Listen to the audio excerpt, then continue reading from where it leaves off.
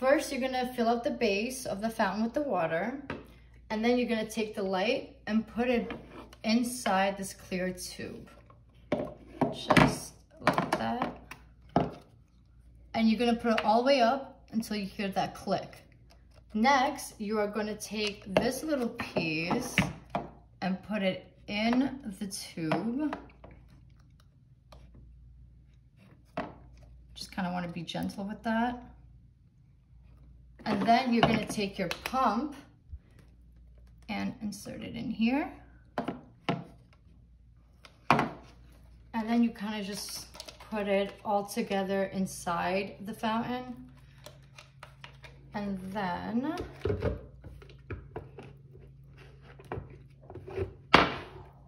you'll put your ball on top and then you plug it in. And then just give the ball a little twist. And there you have it. That's how you set it up.